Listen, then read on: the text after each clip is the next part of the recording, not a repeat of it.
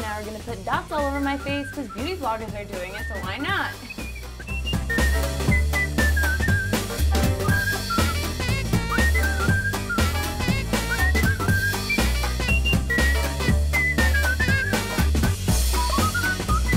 Um, we're done with my dot contouring. I actually really like it. My skin feels really smooth and it looks flawless. Maybe people do do this on a daily basis. I like it. I I like the dot contour thing.